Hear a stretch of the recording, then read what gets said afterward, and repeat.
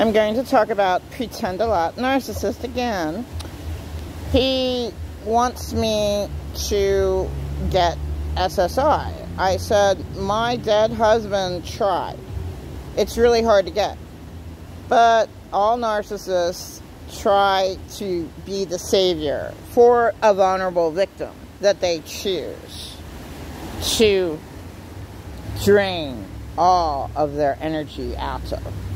So he's pretending that, oh, well, I, I'm going to help you out. Well, I need for you to um, go get your evaluation from when you went to the hospital. Well, I only ever went to the hospital a few times, and that was all lies. So, what's my diagnosis? I don't know. I need money to be able to pay.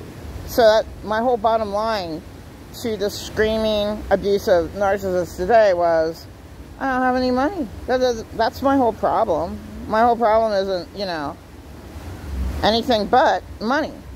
I need money for a place, yes.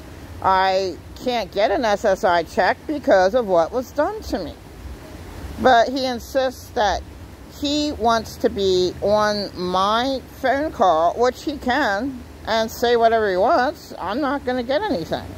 But he's like, well, I'm going to make them not give you any medicine. But then when he was screaming at me, he says, well, you should try medicine. No. Uh, last time I tried medicine was Risperdal. It made me go totally insane. It was the sixth week, and I was literally going insane. I'm not taking anything that causes me to go insane.